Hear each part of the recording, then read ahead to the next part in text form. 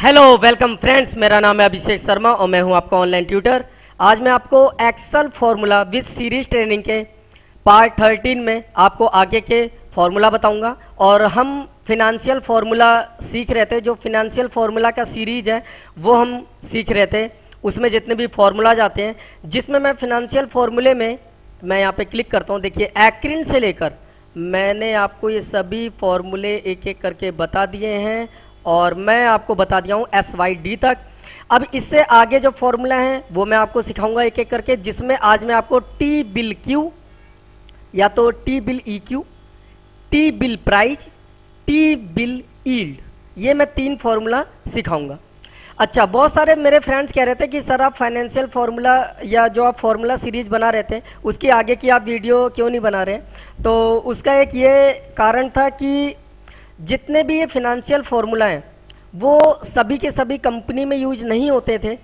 इसके कारण मैं एक तो वीडियो नहीं बना रहा था। दूसरा चीज़ ये भी कारण था कि जो फिनेंशियल फार्मूला है, ये बॉन्ड से रिलेटेड थे। यानी कि बॉन्ड का मतलब होता है कि जो शेयर मार्केट है इक्विटी फंड म्यूचुअल फंड और आपका मनी मार्केट या बड़े बड़े जो मार्केट होते हैं, उसमें लगाए गए जो अमाउंट होता है, वो बॉन्ड कहलाता है। एक तरह से लोन कह लीजिए आप। तो उस बॉन्ड से रिलेटेड ये सभी के सभी फॉर्मूला थे और जितने भी लोग हैं, कम ही लोग होंगे जो बॉन्ड पे वर्क करते होंगे, जो बॉन्ड से रिलेटेड वर्क करते होंगे। तो इसी के कारण जो नॉर्मल व्यक्ति हैं या नॉर्मल पर्सन है, वो बॉन्ड से रिलेटेड जो लोग जॉब नहीं करते हैं, उनके लिए फॉर्मूला उतना मतलब यूजफुल नहीं था। इसी के कारण मैं इस फॉर्मूले को नहीं बता रहा था। बाकी जो आज का जो फॉर्मूला है, ये भी बॉन्ड से रिलेटेड है। मैंने यहाँ पे लिख भी दिया है फॉर्मूला और उसकी डिस्क्रिप्शन मैं थोड़ा सा जूम कर लेता हूँ। ये देखिए।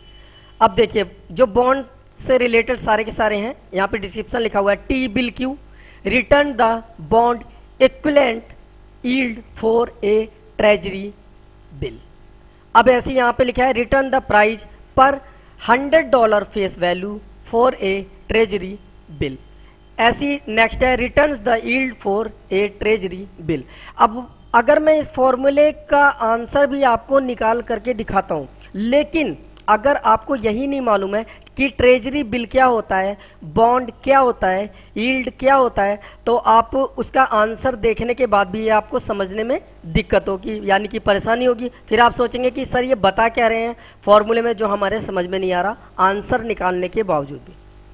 तो मैं, मैंने ये सोचा है कि मैं तो ये वीडियो बना ही रहा हूँ, बाकी मैं बॉन्ड से रिलेटेड भी अब वीडियो बना करके डालूँगा, ताकि आपको पता चल जाएगा कि बॉन्ड क्या होता है ईल्ड क्या होता है कूपन्स रेट क्या होते हैं? ट्रेजरी बिल क्या होता है? ऐसे मैं बॉन्ड से रिलेटेड भी वीडियो बना के डालूँगा और मैं इस वीडियो के नीचे जो डिस्क्रिप्शन होता है, उसमें मैं उसका लिंक डाल दूँगा ताकि आप उस पर क्लिक करके अगर इसके बारे में सीखना चाहते हैं कि बॉन्ड से रिलेटेड जितने भी कंटेंट होते हैं कि क्या होता है बॉन्ड, क्या होता है ईल्ड तो आप उस वीडियो को देख करके सीख सकते हैं। बाकी मैं आज की वीडियो जो इन फॉर्मूले से रिलेटेड है, वो मैं अब आपको दिखाऊँगा चला करके कि किस तरह से आप इस फॉर्मूले का यूज़ कर सकते हैं। बाकी जो ये ट्रेजरी बिल है, आप यूट्यूब पे सर्च करेंगे ट्रेजरी बिल तो भी आपको पता चल जाएगा। गूगल पे सर्च करते तो भी आपको पता चल जाएगा। इसे हम टी बिल भी कहते हैं। ट्रेजरी बिल को शॉर्टकट में तो यहाँ पे देखिए T bill T bill T bill लिखा हुआ है। आखिर ये ट्रेजरी बिल होता क्या है? जो ट्रेजरी बिल होता है, ये बिल सेंट्रल गवर्नमेंट की तरफ़ से जारी किया जाता है। और इसका यूज़ हम लोग मनी मार्केट या जो बड़े बड़े मार्केटिंग होते हैं, उसमें हम लोग बॉन्ड परचेजिंग के लिए यूज़ करते हैं। एक तरह से मान लीजिए ये लोन ही है और जिसकी जो एक अवधि होती है, वो एक साल की होती है सॉरी एक साल से कम की होती है। बाकी जो बॉन्ड अगर आप डायरेक्ट परचेज करते हैं तो वो एक साल से लेके तीस साल तक के होते हैं। लेकिन जो ट्रेजरी बिल होता है, ये जो एक तरह का लोन होता है तो ये, इसकी जो अवधि होती है, एक ड्यूरेशन होती है, वो एक साल से कम की होती है। बाकी जो लोग फाइनेंशियल जो फाइनेंशियल के बारे में जानते होंगे कि फाइनेंशियल का एक ईयर कितना होता है तो उसके अकॉर्डिंग मैं अभी आपको बताऊँगा तो आपके समझ में आएगा थोड़ा थोड़ा बाकी हम यहाँ पे एक डेमो के तौर पे डेटा तैयार करते हैं अब, ताकि जब आप डेमो देखेंगे तो शायद आपके समझ में आए। तो देखिए, इसी के साथ मैं फॉर्मूला भी इसी में सेट कर दूँगा। तो सबसे पहले हम यहाँ पे लिखते हैं सेटलमेंट डेट तो मैंने यहाँ पे टाइप कर लिया सेटलमेंट डेट अब सेटलमेंट डेट क्या होता है? जिस दिन हम किसी भी मार्केट में पैसा लगाते हैं, वो सेटलमेंट डेट हो गया। मतलब स्टार्टिंग डेट कह लीजिए आप तो ये आपका सेटलमेंट डेट मतलब इस फॉर्मूले के अकॉर्डिंग है तो सेटलमेंट डेट होता है कि जिस दिन आप मार्केट में पैसा लगाते हैं। अब इसके बाद होता है maturity date maturity date maturity date होता है कि देखिए, हर चीज़ की एक ड्यूरेशन होती है। अब जैसे मान लीजिए, मैं एग्ज़ाम्पल के तौर पर बताता हूँ, जैसे मान लीजिए हमने एक दवाई परचेज किया, कोई भी, अब एक हमने कफ सिरप परचेज कर लिया तो उस दवाई की भी एक वैलिडिटी वैलिडिटी होती है ना, कि एक साल से तीन साल तक की। कि तीन साल के बाद ये दवाई खराब हो जाएगी। इसी तरीके से अगर हमने मार्केट में कोई पैसा लगाया है तो उसकी भी एक मेच्योरिटी डेट होगी कि इतने दिन के बाद वो मार्केट में जो आपने पैसा लगाया, वो मेच्योर हो जाएगा और आपको वो पैसा वापस मिल जाएगा। इतने परसेंट इंटरेस्ट के साथ। जिस तरह से हम मान लीजिए अपना इंश्योरेंस कराते हैं तो उसका भी एक मेच्योरिटी डेट होता है। तो उसी तरीके से। अब यहाँ पे मेच्योरिटी डेट लिख दिया। अब इसके बाद हम लिखेंगे डिस्काउंट रेट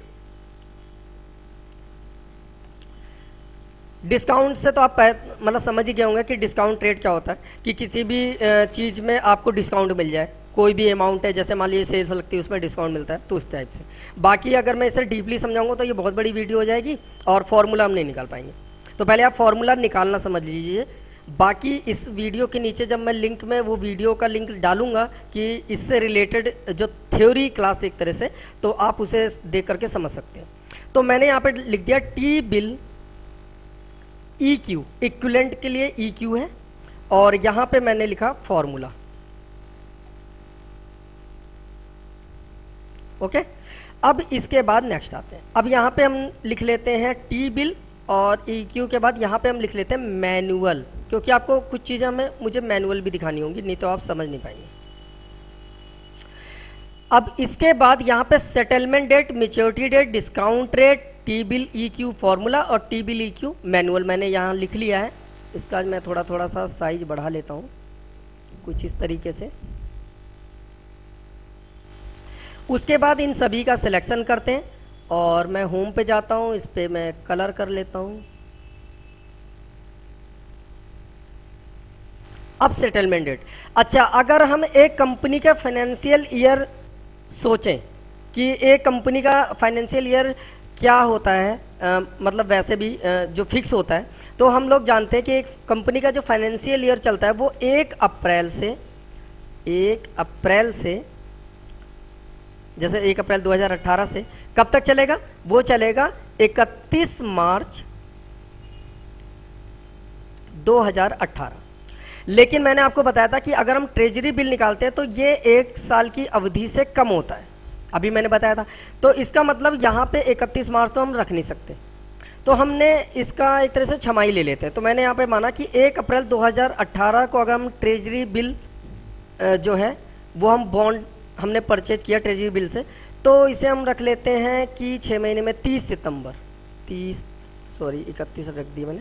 तीस सेप्टेम्बर के हिसाब से ये हमने रख लिया 2018 में।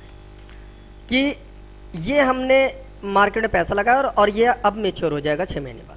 अब डिस्काउंट रेट मैंने माना कि support date seven point three percent अब यहाँ पे T bill E Q formula क्या करेगा वो मैं आपको बताता हूँ। इसे मैं सिलेक्ट करके ऑल बॉर्डर कर लेता हूँ और T bill E Q formula ये क्या करता है अब यहाँ पे लिखा हुआ है return the bond equivalent yield for treasury bill अब ट्रेजरी बिल क्या निकालेगा? बॉन्ड का इक्विलेंट ईल्ड निकालेगा. इक्विलेंट ईल्ड का मतलब है ईल्ड का मतलब होता है प्राप्ति. कि आपको कितना परसेंट अगर मान लीजिए आपने एक मार्केट में पैसा लगाया और आपको 7.30 परसेंट के हिसाब से डिस्काउंट रेट मिलेगा और आपको कितने परसेंट क्या मिलेगा? उस अमाउंट की वैल्यू पे इंटरेस्ट उस अमाउंट की वैल्यू पे इंटरेस्ट जैसे कि मान लीजिए कि मुझे कहा गया, एक तरह से एग्ज़ाम्पल के तौर पे यहाँ पे लिखा, बता देता हूँ मैं, कि मैंने मान लीजिए किसी भी बिज़नेस में सौ रुपये इन्वेस्ट किए गए इन्वेस्ट कर दिए। अब सौ रुपये इन्वेस्ट करने के बाद उन्होंने कहा कि जी आपने सौ रुपये दे दिए मुझे और मैं आपको एक साल के बाद आपको एक सौ वापस करूँगा। तो जो बीस रुपये जो हमें ज़्यादा मिल रहे हैं तो सौ रुपये में कितना परसेंट इंटरेस्ट लगा कि मुझे एक सौ बीस रुपये मिले एक साल के बाद?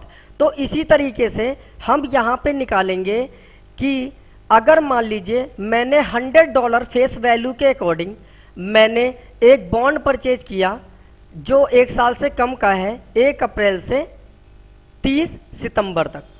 अब मैं टी बिल इक्वलेंट फॉर्मूले से उसका इंटरेस्ट रेट जानना चाहता हूँ। तो कैसे निकलेगा? तो यहाँ पे हम निकालते हैं equal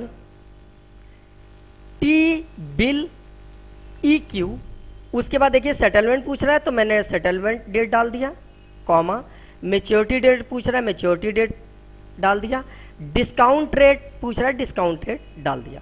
ब्रैकेट को बंद करके जब हम एंटर करेंगे तो ये जो हमें निकल के आया है, ये हमारा टी बिल ई क्यू मतलब टी बिल इक्वलेंट ईल्ड हमें मिल गया कि हमें इतना परसेंट मिलेगा। लेकिन परसेंटेज तो सही नहीं आ रहा तो मैं इसे दोबारा एक बार यहाँ पे निकालता हूँ। Equal T bill E Q उसके बाद settlement date comma maturity date comma उसके बाद डिस्काउंट रेट उसके बाद ब्रैकेट बंद और एंटर अब आप देख रहे होंगे कि दोनों में एक ही फॉर्मूले लगाए और एक ही तरह के आंसर आ रहे हैं। लेकिन ये आंसर का मुझे परसेंटेज देखना है।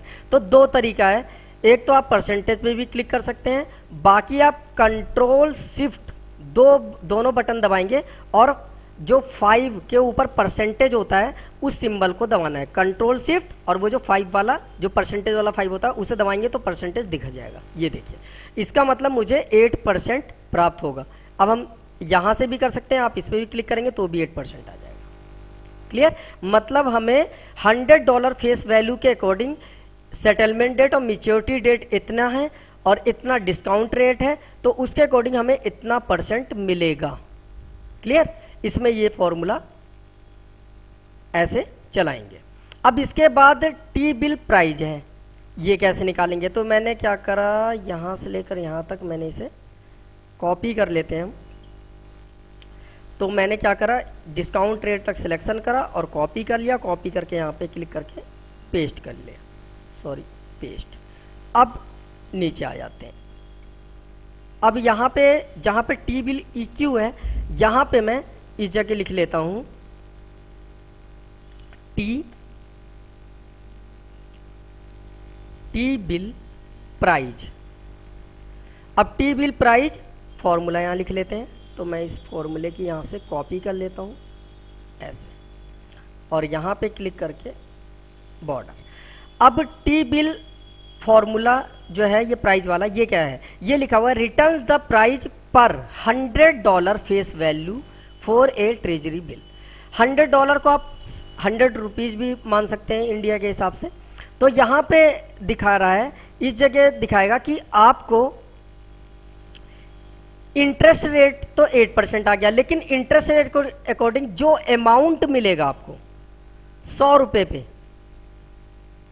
हंड्रेड, बताया ना आपको, यहाँ पे लिखा हुआ है return the price per hundred dollar face value एक ट्रेजरी बिल। अब यहाँ पे आपको निकालना है, ट्रेजरी बिल के अनुसार 100 डॉलर या सौ रुपये की फेस वैल्यू को मान के बॉन्ड प्राइज निकालने के लिए। यानी कि यहाँ पे बॉन्ड प्राइज निकालेगा, इसमें से आपका इंटरेस्ट हटा देगा। मतलब ये जो इंटरेस्ट है, एट परसेंट, इसे हटा करके जो बॉन्ड प्राइज बनेगा, वो यहाँ पे निकालेंगे हम। तो सौ रुपए में से आठ परसेंट का निकाल देगा बाकी चीज़ें हमें यहाँ पे दिखा देगा। तो अब हम यहाँ पे कैसे निकालेंगे? इक्वल टी बिल प्राइज उसके बाद सेटलमेंट ये रहा। मेच्योरिटी ये रहा मेच्योरिटी डेट और ये रहा डिस्काउंट तो डिस्काउंट पे क्लिक करा और ब्रैकेट बंद। अब हंड्रेड डॉलर ये सौ रुपए की फेस वैल्यू का जो आ, क्या कहते हैं बॉन्ड अमाउंट होगा वो आपको निकाल करके दिखाएगा इंटरेस्ट एट परसेंट को हटा करके। ये आ गया ninety six point thirty rupees आप इस वाले कॉमा स्टाइल पे क्लिक कर लेंगे तो ये इकतीस हो गया ninety six point thirty one rupees आ गया। क्लियर तो ये आपकी वैल्यू निकल गई, ये आपका आ गया टी बिल प्राइज अब टी बिल ईल्ड कैसे निकालना है? ये भी देख लीजिए। अब मैं जब आंसर निकाल रहा हूँ ना तो जो लोग बॉन्ड वगैरह मार्केटिंग में नहीं होंगे, उन लोगों के समझ में थोड़ा सा दिक्कत हो रही होगी। अब वो सोच रहे होंगे कि सर समझा क्या रहे हैं। तो ये दिक्कत है। इसीलिए मैं इस वीडियो को नहीं बना रहा था। लेकिन क्या करें फिनेंशियल फार्मूला भी मुझे पूरा करना है, फिर उसके बाद भी मुझे आगे भी सारे फार्मूले आपको सिखाने होंगे। तो इसके वजह से ही मैं ये चीज़ें आपको सिखा रहा हूँ। ये। अब इसमें भी सेटलमेंट डेट और मिच्योरिटी डेट डाल दिया। अब इसमें कुछ चीज़ें और जुड़ेंगी, जैसे यहाँ पे आएगा प्राइज क्योंकि यहाँ पे देखिए लिखा हुआ है प्राइज पर वैल्यू हंड्रेड डॉलर तो यहाँ पे मैंने एक लिख लिया price price per face value okay और यहाँ पे मैंने लिख लिया फॉर्मूले का नाम टी बिल ईल्ड ईल्ड का मतलब क्या होता है? प्राप्ति. फॉर्मूला और यहाँ पे हम लिख लेते हैं टी बिल्ड और टी बिल ईल्ड के बाद यहाँ पे लिख लेते हैं मैनुअल और इसमें भी जो है, हमें परसेंटेज दिखाएगा। अब यहाँ पे सिलेक्शन करते हैं और इस पर हम कलर कर लेते हैं बोल्ड कर लेते हैं। सॉरी बोल्ड एक तो थोड़ा सा कंप्यूटर भी गड़बड़ है। Return the yield for a treasury bill अच्छा। अब यहाँ पे मैंने इसे सिलेक्शन करा और यहाँ पे मैंने ऑल बॉर्डर डाल दिया। इसका क्या मतलब होता है? ट्रेजरी बिल के अनुसार ईल्ड रिटर्न को निकालने के लिए हम जो टी बिल के अनुसार ईल्ड को निकालने के लिए, उसकी प्राप्ति वाली वैल्यू को निकालने के लिए, उसका एवरेज निकालने के लिए हम लोग यूज़ करते हैं टी बिल ईल्ड अब प्राइस फेस वैल्यू जो है वो हंड्रेड डॉलर है। तो मैंने यहाँ पे हंड्रेड डॉलर की जगह, जैसे मान लीजिए मैंने मान लिया ninety eight ninety eight rupees मान लेते हैं। Ninety eight point fifty rupees मान लेते हैं। एक अप्रॉक्स डाल लेते हैं। अब यहाँ पे हम टी बिल ईल्ड निकालते हैं। तो कितना परसेंट निकलेगा? अब यहाँ पे हम फॉर्मूला चलाएँगे same equal T bill yield उसके बाद यहाँ पे पूछ रहा है सेटलमेंट तो मैंने सेटलमेंट पे क्लिक करा कॉमा लगाया मेच्योरिटी मेच्योरिटी पे क्लिक करा कॉमा लगाया, पर तो मैंने पर पे माना कि 98.5 रुपीज़ या 98.5 डॉलर फिर मैंने इस पर क्लिक करा और एंटर तो यहाँ पे जो एवरेज वाली ही वैल्यू आई है, अब वही मैनुअल वाला करके देखेंगे। तो इक्वल दोबारा टी बिल ईल्ड उसके बाद settlement date comma maturity date comma price face value 98.5 और उसके बाद ब्रैकेट बंद और एंटर अब इस पे हम क्लिक करके जब परसेंटेज पे क्लिक करेंगे तो परसेंटेज वाली वैल्यू आपको दिख जाएगी। और यहाँ पे आ गया थ्री परसेंट यानी कि जो आपका टी बिल ईल्ड है, वो थ्री परसेंट निकल के आ गया। तो इस तरीके से आप इस फॉर्मूले का यूज़ कर सकते हैं। उम्मीद करता हूँ आपके समझ में आया होगा। बाकी वीडियो को लाइक करना ना भूलें, शेयर करना ना भूलें। और हाँ इसके बारे में अगर आपको डिटेल में जानना है तो इसी वीडियो के नीचे मैं डिस्क्रिप्शन बॉक्स में उस वीडियो का लिंक डाल दूँगा, ताकि आप उस वीडियो को देख करके समझ सके कि बॉन्ड क्या होता है ईल्ड क्या होता है, ट्रेजरी बिल क्या होता है, इसके बारे में आपको सारी की सारी डिटेल मिल जाएगी। ओके? तो मिलते हैं आपसे न्यू वीडियो के साथ, तब तक के लिए बाय बाय, टेक केयर।